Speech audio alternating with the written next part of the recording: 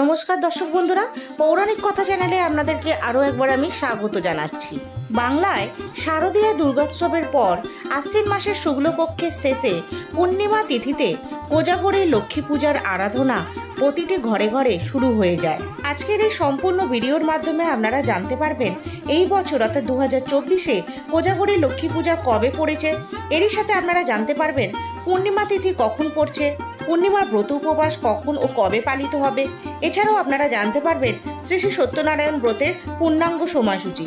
তাই আজকের এই সম্পূর্ণ ভিডিওটি একদম স্কিপ না করে পুরোটা দেখার অনুরোধ রইল। মা লক্ষ্মী হলেন ধন ও সম্পত্তির দেবী। ধন সম্পদের আশায় ঘরে ঘরে কোজাগরী লক্ষ্মী পূজা করা হয়ে থাকে। নারী পুরুষ নির্বিশেষে প্রত্যেকেই এই পূজায় অংশগ্রহণ করেন। কোজাগরী শব্দটির উৎপত্তি কো জাগতি, অর্থাৎ কে জেগে আছে এই কথাটি থেকে। বলা হয়, যার কোনো সম্পত্তি নেই, সে পাওয়ার আশায় জাগে, আর যার সম্পত্তি আছে, সে না হারানোর আশায় জাগে। আর এই সারা রাত জেগে মা লক্ষ্মীর আরাধনা করাই এই পূজার বিশেষ আচার। কথিত আছে, কোজাগরী লক্ষ্মী পূর্ণিমার দিন দেবী রাত্রে খোঁজ নেন কে জেগে আছেন যে জেগে অক্ষক্রীড়া করে, লক্ষ্মী তাকে ধনসম্পদ দান করেন। এই কারণে এই দিন সারা রাতব্যাপী প্রদীপ প্রজ্বলন করে রাখার নিয়ম রয়েছে। এরপরে আপনারা জেনে নিন এই বছর কোজাগরি লক্ষ্মী পূজা কবে পালিত হচ্ছে। এই বছর কোজাগরি লক্ষ্মী পূজা পালিত হচ্ছে ইংরেজি ষোলোই অক্টোবর দু হাজার চব্বিশ বাংলার উনতিরিশে আশ্বিন চোদ্দশো একত্রিশ বুধবার। এরপরে আপনারা জেনে নিন পূর্ণিমা তিথি কখন পড়ছে। পূর্ণিমা তিথি পড়ছে, উনতিরিশে আশ্বিন, ইংরেজি ষোলোই অক্টোবর, বুধবার, রাত্রি সাতটা চুয়াল্লিশ মিনিট থেকে।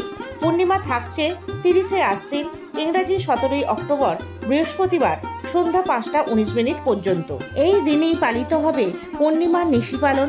রাত্রি সাতটা চুয়াল্লিশ গতে শ্রী শ্রী কোজাগরী লক্ষ্মী পূজা ও শ্রী শ্রী সত্যনারায়ণ ব্রত রয়েছে। রাত্রিতে কোজাগর কৃত্য।